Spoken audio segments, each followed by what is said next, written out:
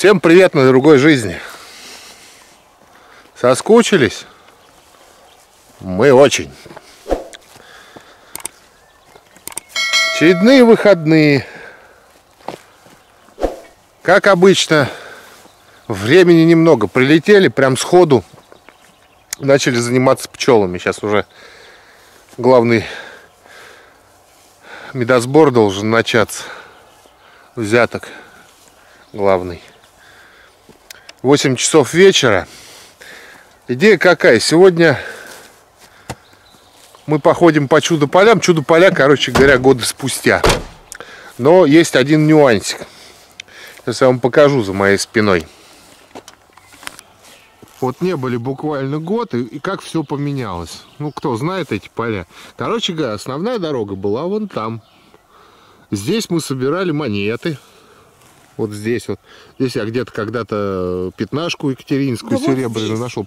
Короче говоря, они пробили новую дорогу через, через лес. Прям посмотрите, прям содрали грунт и пробили. Ну, естественно, нужно это проверить. Прям вот.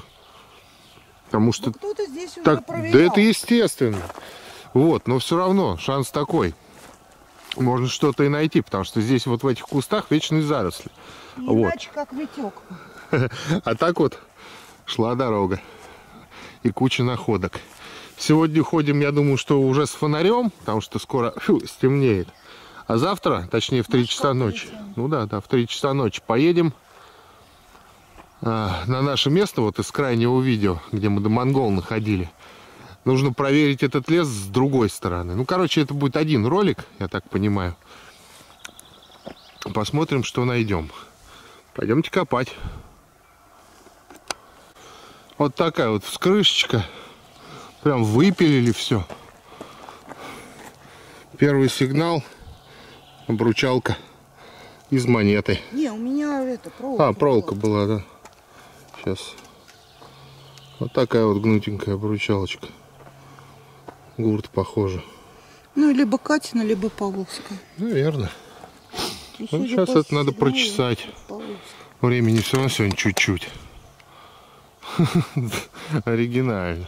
Сейчас надо морду застегивать. Мне уже в лоб дал, дала Машка. Я сразу. Ага. Бродим.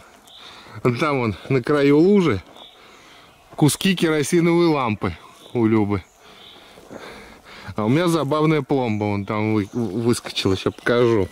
Чем забавная? Она говорящая. Говорящая, да.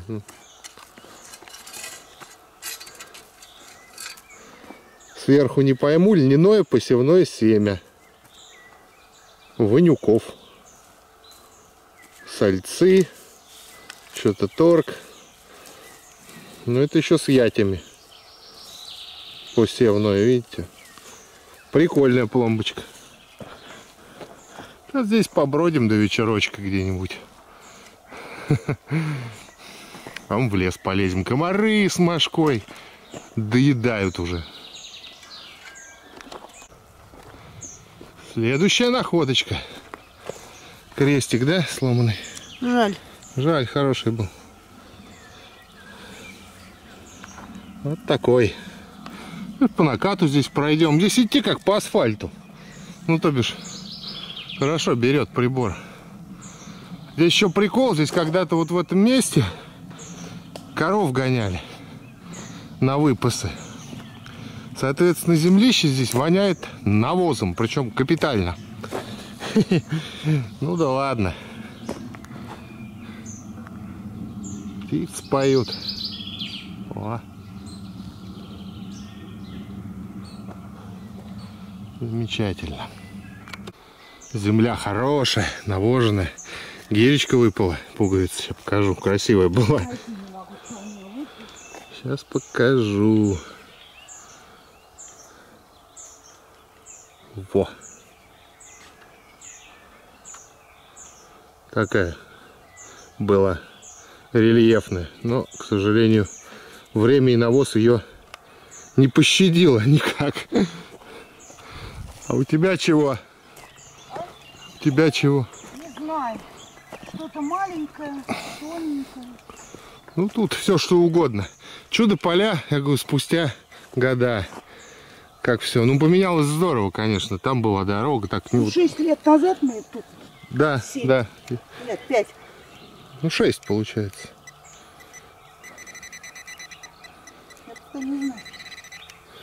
Да здесь многие эти поля знают. Кто смотрит, тем привет, кто знает. Что там? Фигня какая-нибудь. Что-то серебристенькое. Свернутое в трубочку. Бывает здесь. На, убирай.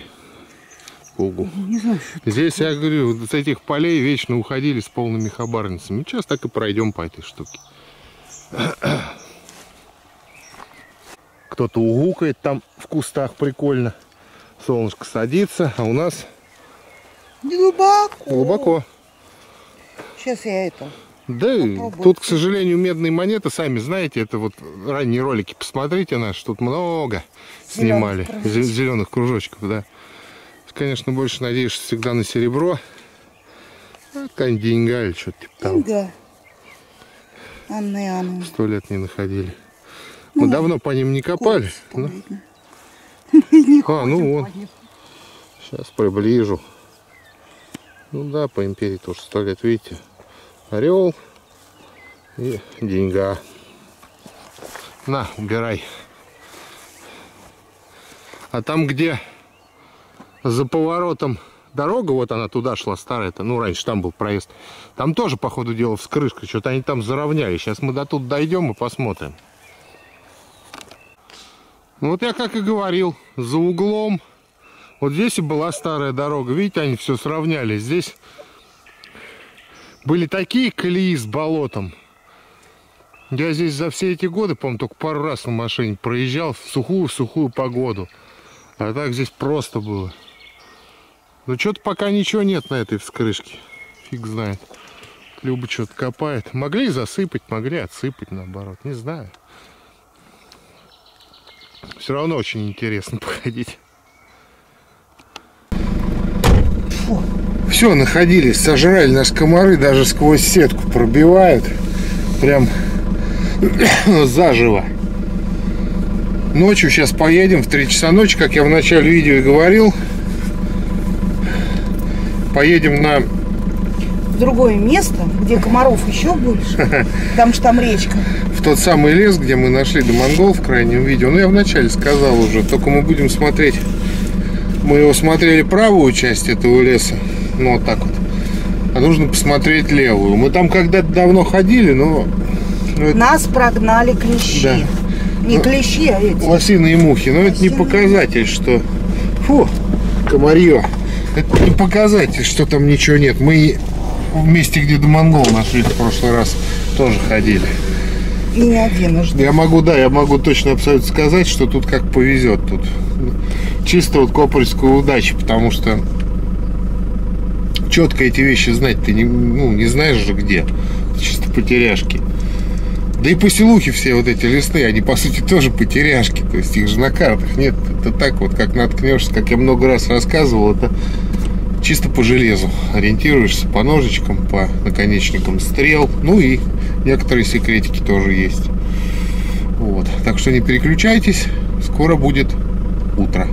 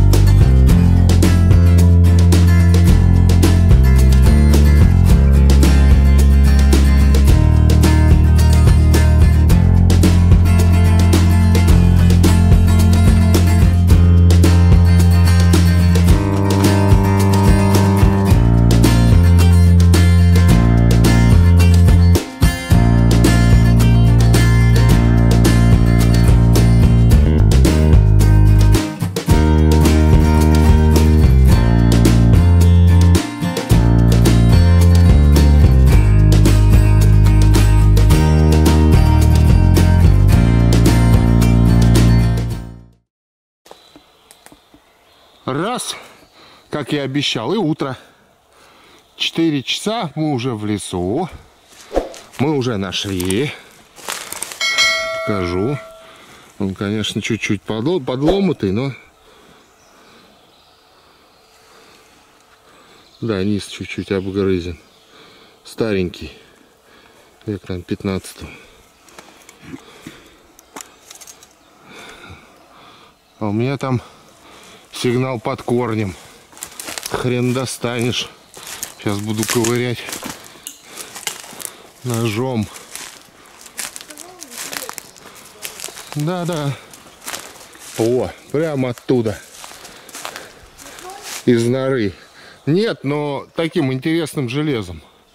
Короче говоря, вот этот лес круглый, вот мы правую сторону били. А сейчас мы будем смотреть левую сторону.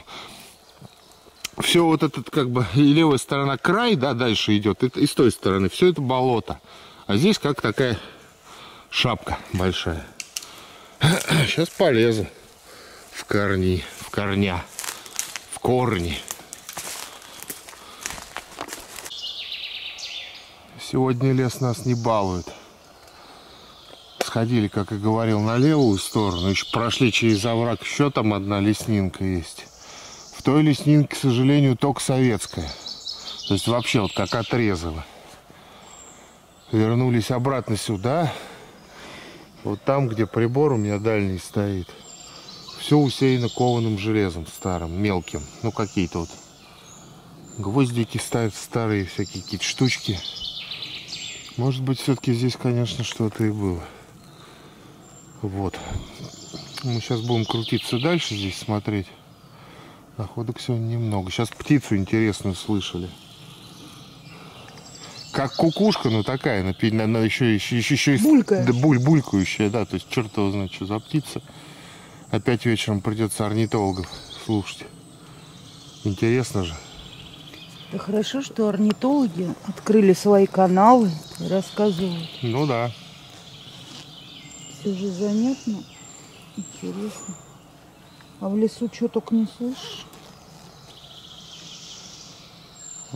Красота, конечно. Сидим мы на макушке. На макушке. Ну вот, время к 7 утра. Еще раз все прошли кругом уйму, чер... уйму черных сигналов, да, но больше ничего цветного не попалось. Решили кругом пойти к машине, уже пора. Советская монета выпрыгнула. Советов мы здесь вот в этом лесу никогда не находили. Год интересно какой. 30 какой-то. 36 а, уже после, да, этого? После реформы имеется в виду.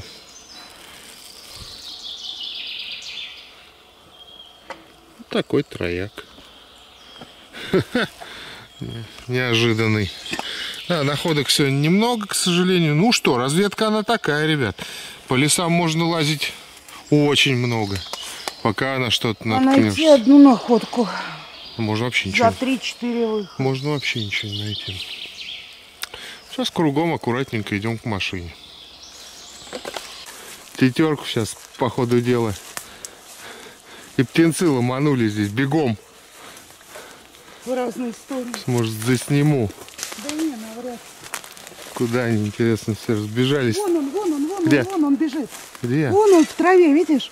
Вон туда к березе. А, вон вижу, он бегает. Видите?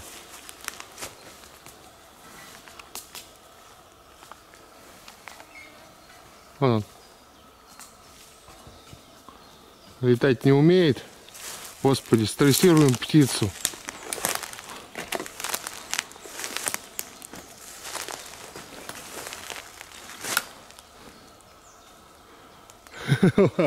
Ладно. Видели, да? Все, не будем шугать здесь всех, а то не носится здесь по траве. И мамашка летает вокруг. Все, уже, я говорю, пол восьмого и невыносимо. Днем будет 26, наверное. Или что-то около того.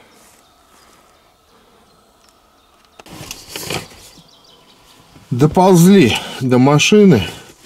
Ну, как и говорили, времени без 28. И жара уже неимоверная. По крайней мере для нас. Ну, для нас, да, мы очень плохо ее переносим. Находок мало в этом видео, к сожалению. Разведка. Ну, разведка старые поля. Вот при, прикол такой. Ну и мифы из леса. Традиционные, уже не традиционные. Ну, скоро станут традиционными. Как медведь хотел стать сильнее человека. Здесь, кстати говоря, у нас мишек много. Они попадаются. По крайней мере следы. Медведь почитался у Коми, как и у всех финугров, сверхъестественным существом, наделенным разумом и силой. Считалось, что он спустился с небес на землю. Однажды медведь попросил у небесного бога, или у популярного у Коми святого Микола Угодника, большой палец, такой же, как у людей – Бог обещал исполнить его просьбу, но сказал, что в таком случае собаке он даст охотничий лук, а человеку крылья.